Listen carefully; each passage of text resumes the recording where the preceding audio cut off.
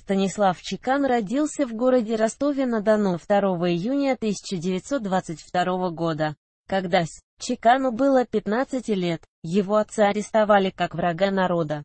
Станислава отправили в трудовую колонию, где он впервые стал участвовать в самодеятельности.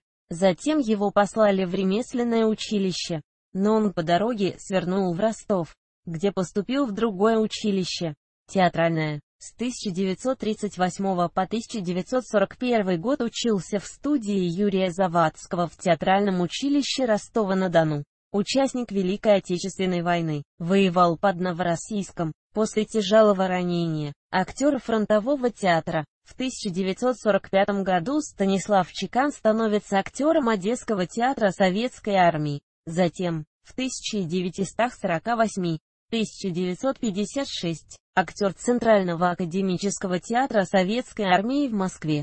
В 1958 1993 театра студии киноактера. Станислав Чекан, фактурный и колоритный характерный артист, с большим обаянием и чувством юмора, как правило, экранные персонажи Чекана, настоящие рабочие мужики, сильные и смелые люди. Станислав Юлианович Чекан ушел из жизни 11 августа 1994 года после продолжительной болезни.